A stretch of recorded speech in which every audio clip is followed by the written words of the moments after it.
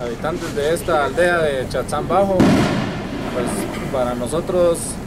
eh, personeros, de, Infom, es un gusto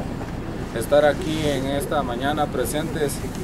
junto con el señor diputado y el señor alcalde de Patzún,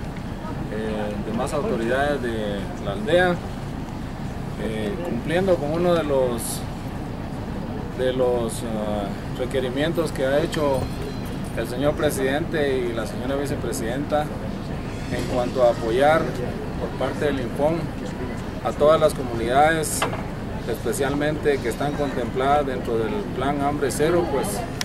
estamos dando cumplimiento a una solicitud realizada por la comunidad a través de su, su COCODE, su alcalde, el señor alcalde de Patzún y promovida también por el señor diputado Alfredo Cortí ante gerencia de Infom. Eh, pues en esta oportunidad para nosotros es un gusto